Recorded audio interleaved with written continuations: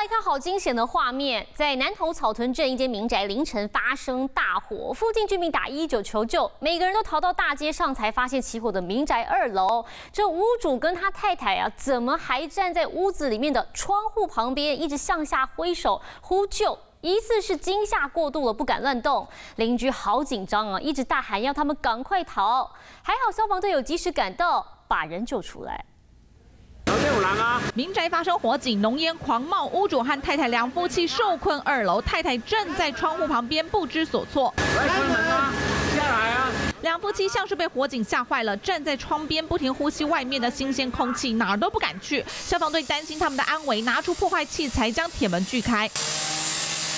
消防队进入火场，将两夫妻救出来，幸好人没事。台电人员也到场检查电线，初步研判是一楼电线起火。一楼的部分的话，是好像它好像是有种电蚊香，还是其他一些电器所发生的一些是说短路现象，引起的火灾。